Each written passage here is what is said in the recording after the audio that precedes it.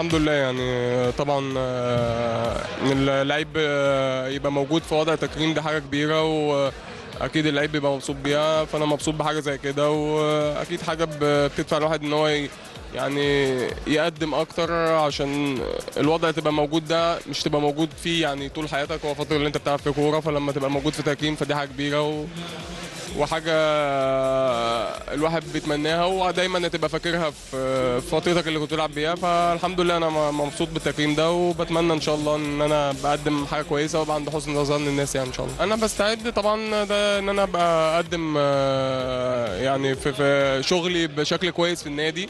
عشان دايما أبقى جاهز وأبقى مؤهل آه، بشكل كويس.